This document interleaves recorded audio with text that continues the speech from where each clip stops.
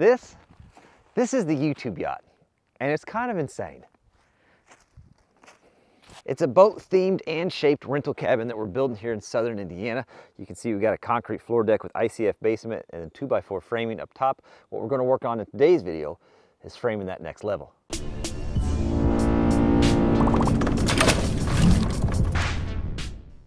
Hey everybody, welcome to the video. Welcome to the channel. We are finally back on the YouTube yacht. We took off the winter because I didn't really want to do any work in the wintertime. This project is a fully YouTube revenue funded project, which means we have to work at the speed that our revenue is generated on the channel. But if you're new to the channel or you just haven't been here for a while, here's where we're at. ICF basement, that is a concrete floor deck or ceiling above us. It's an ICF span. Obviously we're up here in the bow. These are gonna get circular porthole style windows. And then you can see the plumbing, that back section, that's gonna be a bathroom and there's gonna be a spiral staircase that goes to the top section. All this dirt here will get excavated out so that there's a nice slope down to it. So it's really showing off its pretty cool looking profile. And we'll do a pier style dock that comes back over here to the parking area. So there's where we just came from, spiral staircase on up to the next level. You can see where the windows are. We've got them sheeted over just to keep the weather out until we actually are ready for windows. This is just gonna be kind of a seating gathering area. And this over here is gonna be a little mini kitchen.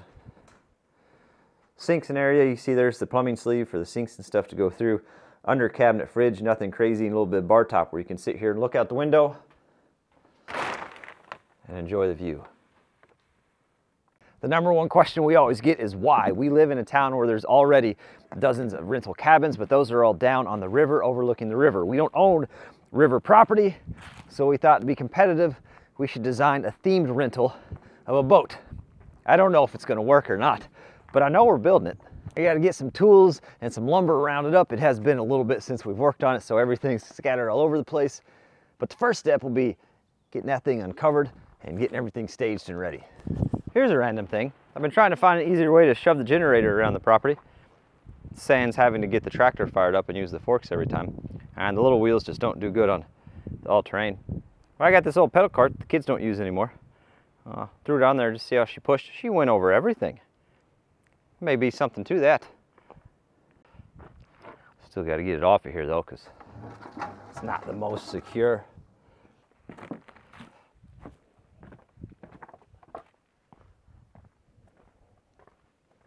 Least I don't need a ladder.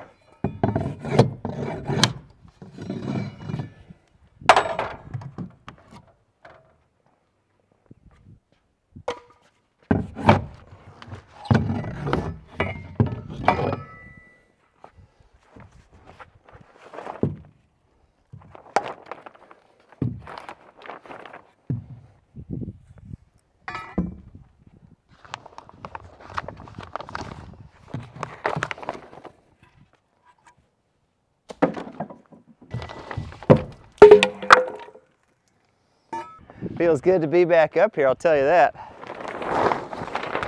Floor looks good too. I think we're all right.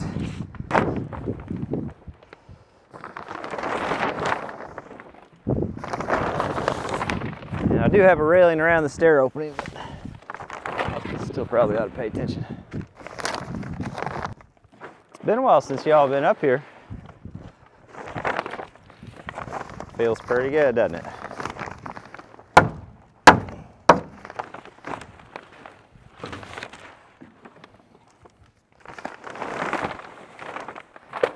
So there's just one spot here in the middle looks like it got a little weather, but everything else looks really nice and well protected.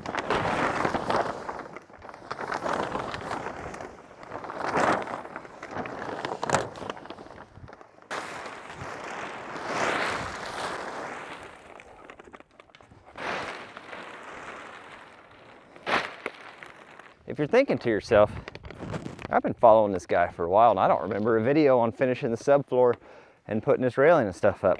That's because it never came out. I lost all the footage. We also have all the walls anchored and epoxied in place and everything taped and nailed off the way it's supposed to be. So, jumping forward a little bit from the last progress. I'm guessing you're all right with it though. These can come up. Let's toss them for now.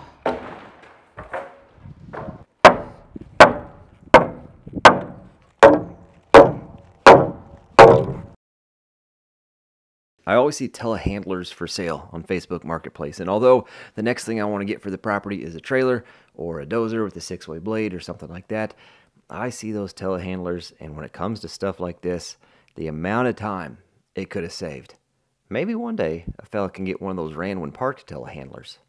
One nice thing about framing up here versus what we had to do down below. Down below we had to measure each stud to make sure the top plate was nice and level and then the bottom could follow the contour of the concrete. But up here, since everything's nice and level with the subfloor, we just got pre-cut studs for up here. Should go a little bit quicker. Gotta make sure I'm not measuring the subfloor, but I'm measuring the actual floor joist of the wall below. Otherwise, you can step in just a little bit. Also, here's your disclaimer. I did build homes for about five years, but I am far from a professional and a lot has changed since I built homes. So if you are building something, make sure you're following the code and make sure you check your area because code can change from place to place. Don't take anything I'm saying as advice. I would not recommend that. Pulled from the right side on the bottom, so we're gonna pull from the right side up top. That way I can stack my studs.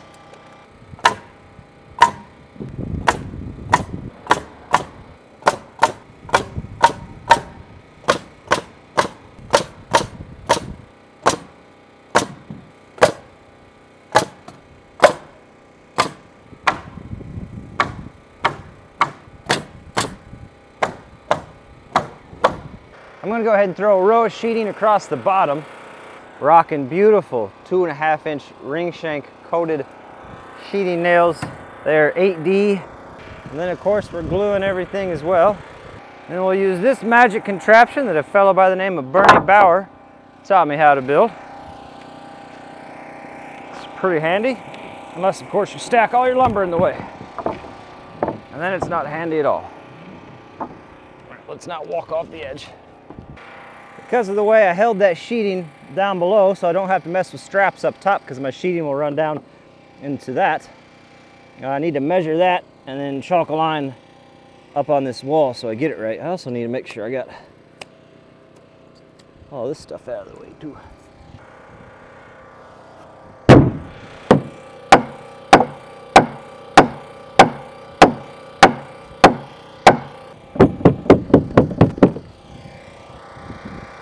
Really have much of a plan for this step.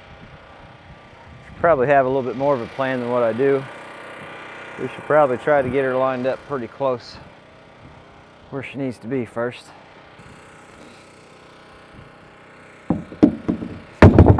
Got a block here to kick it to. Let's get the nail gun up close. We're not reaching for it.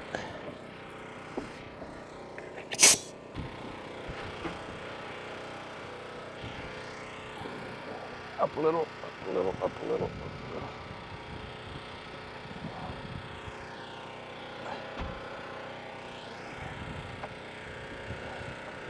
There it is. There it is.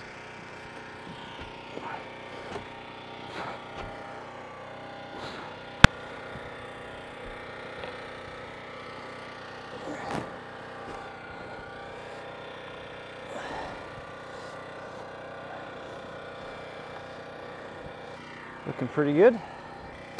Even a low brace is better than no brace. That's what I sometimes say. Normally you'd put another block there, but sometimes I forget to grab things.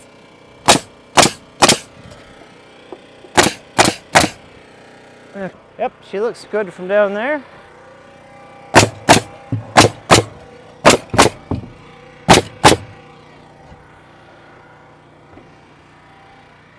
Get her locked out. No window on this wall. I know a lot of people are surprised we're not putting a window on this wall since it's right over the paddle wheel, but our house is this way. Now we've designed this where all the windows are looking the opposite direction. That way people can't come up and, well, what are they doing over there? You know what I mean? Forced perspective. I think that's what it's called. Well, let's go ahead and run this wall here might as well. We're gonna frame to here on the bottom plate.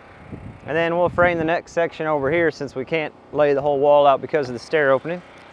I just want to go ahead and get all the headers made real quick. That way they're knocked out, they're ready to go, they're ready to install. Windows are the same size up top as they are down below. All right, so we got to build some headers. Now, the way I do these headers, I'm just using 2x10s, and to get the proper thickness, we're throwing some 7 16 in between them. That gives us the 3.5 inches, the same width as the 2x4 wall. Ripping it down just real professional-like. Nothing too fancy there. Move this stuff out of the way. This lumber came stacked the way you would normally do it, which is the OSB on bottom, the studs on top, because you're going to use the studs first, but we're kind of doing things backwards. So we got to do quite a bit of rearranging to make everything work. But it's not too big of a deal. Look at that. That's that's some fancy cutting. Some fancy footwork there. A little bit of texting. You know, we got stuff to do. Glue lamin everything together using that spray foam construction adhesive. And then just running an inappropriate amount of nails through there. That's just the best way to do it, honestly. A little bit of axe. Is that an axe? Yeah, we used an axe a little bit. And then uh, we pack those up the ladder, throw them on top, get them staged, get them ready to go. Nothing too crazy to this part. So up top, we're gonna have the same windows as we do down below, the exception being that window there. There's gonna be a bathroom straight up above us here, so no window there. But the rest of these will be identical. So what I'm gonna do to make sure they match up, the easiest thing that I can think of is I'm just gonna cut a bottom plate and literally just transfer the stud marks over, then we're perfectly stacked, the windows will be perfectly lined up, and we should be good to go. The only trick here just because of the space we've got to work up there, what I'm gonna do is basically build one section like to this stud, stand that up, then we'll build the next window section, stand that up, and move our way on down. The fact they didn't send all the sheeting I need is fixing to catch up with me here in a little bit.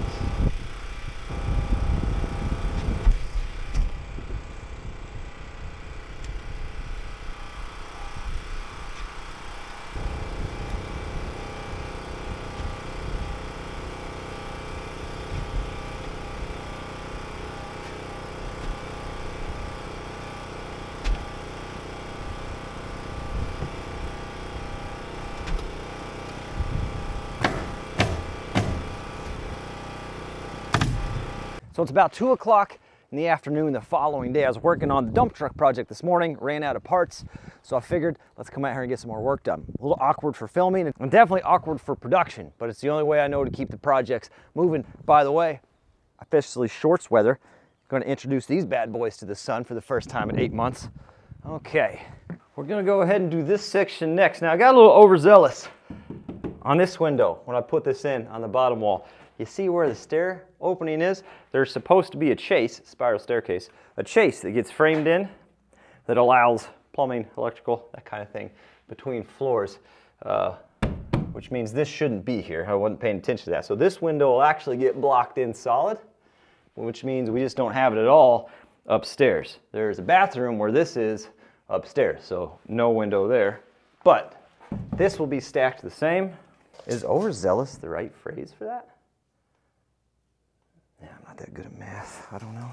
Like I said, this isn't a how-to. If you're gonna do your own framing or you want to learn, I'd suggest getting a few books. Larry Haun is, uh, has a fantastic book out and a lot of YouTube videos, or just go work part-time somewhere if you got the time for a construction company and learn a little bit yourself. But this is the way I do it.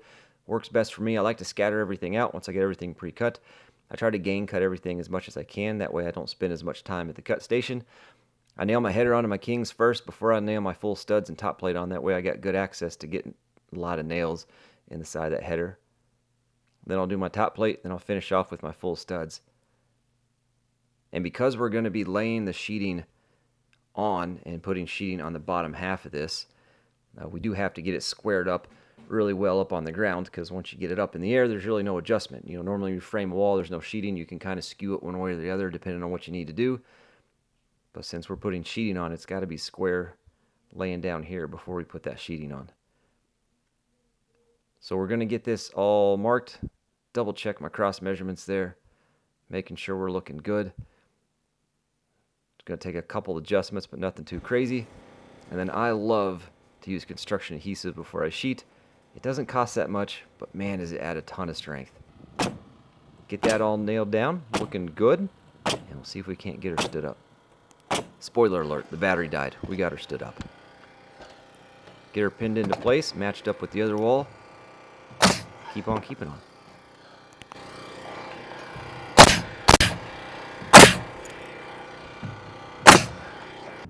So I got all the studs stacked up here, ready to go, which is nice.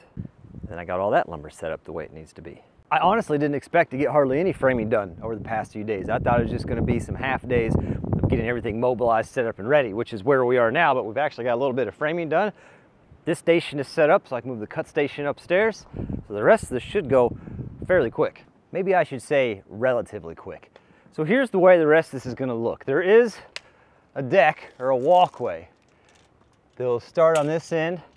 It'll match basically what I'm on now and follow it all the way across here. There will be a door just like this stacked on top of it.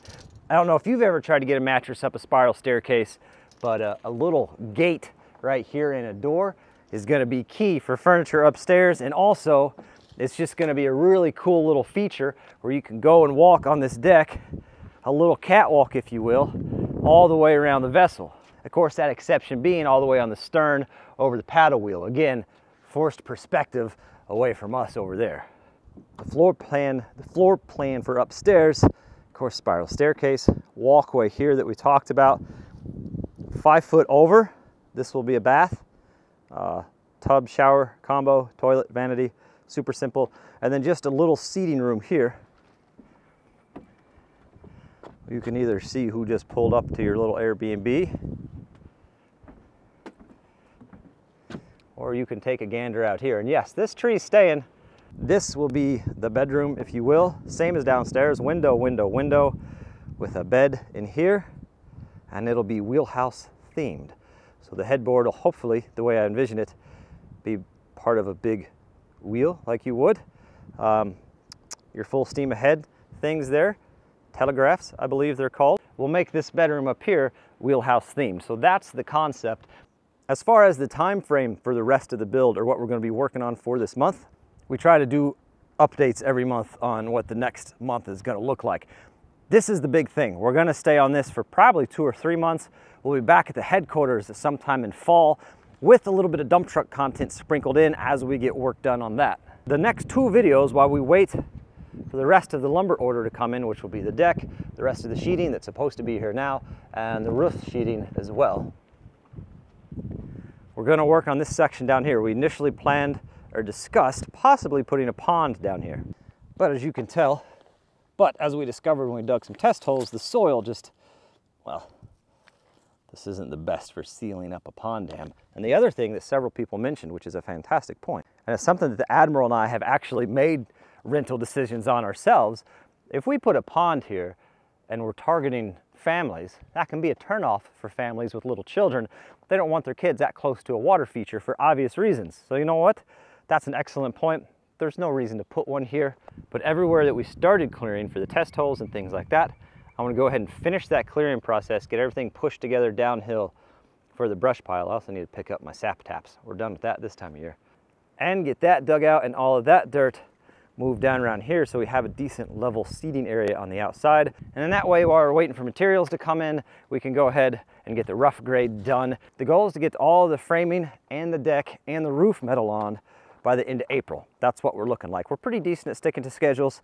Every now and then we might be off by a week or two, but that's the goal. Now you guys know we'd hope to be back on it mid-March. It is the end of March but still pretty close to the schedule, not too bad. If you came here originally for the YouTube Yacht content, appreciate you being patient with me. Probably a shorter video than normal, but this is what we're working with this week. So this is what you get. I hope you guys like it. I'm loving it. It's wild. It's just, It's insane. And I'm here for it. And I'm glad you guys are too. I hope I see you on the next one.